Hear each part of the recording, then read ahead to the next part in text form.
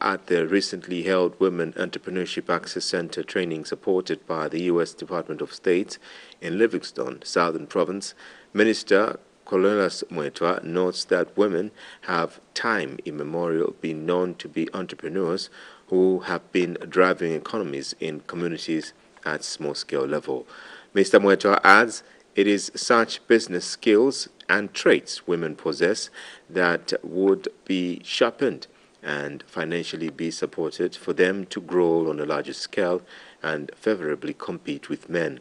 He states that the UPND government will focus on women entrepreneurs' activities and support their businesses through provision of equitable women empowerment fund and initiatives.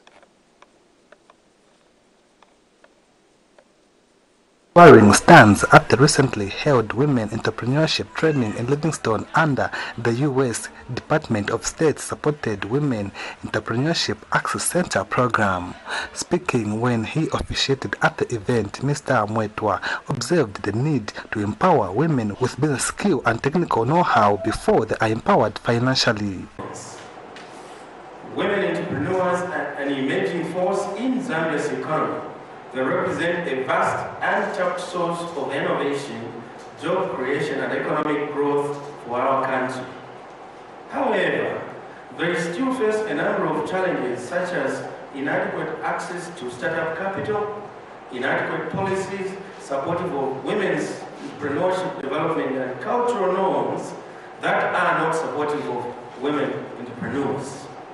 To address these challenges, there is a need to have programs such as the Academy for Women Entrepreneurs that combines skills and management. He says government has noted the role women play in economic development, hence it will support any program that responds to that cause. The CDF, which has been increased from 1.6 million kwacha to now 25.7 million kwacha, is actually in two brackets.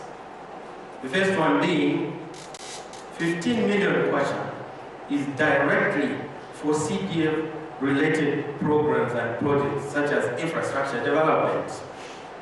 And the 10.7 is not to be found anywhere near infrastructure development, but human development, particularly youth and women.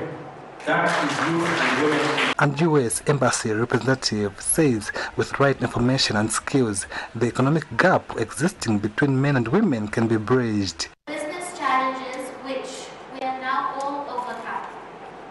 A round of applause to all the juniors. Honorable guests of honor, sir, we are empowered to go forth and start our business ideas. We are ready to turn the ink on our business plans into bankable pieces of paper that we are now calling incomes. The Women Entrepreneurship Training Program focuses on building women entrepreneurs who are able to become self-sustainable and contribute positively to economic development of the country. Muya Mukomputa, Muvi TV News, Livingstone. Kazungula District Crop and Animal Husbandry Officer Silvasi Shibulo says the Ministry of Agriculture is consistently monitoring the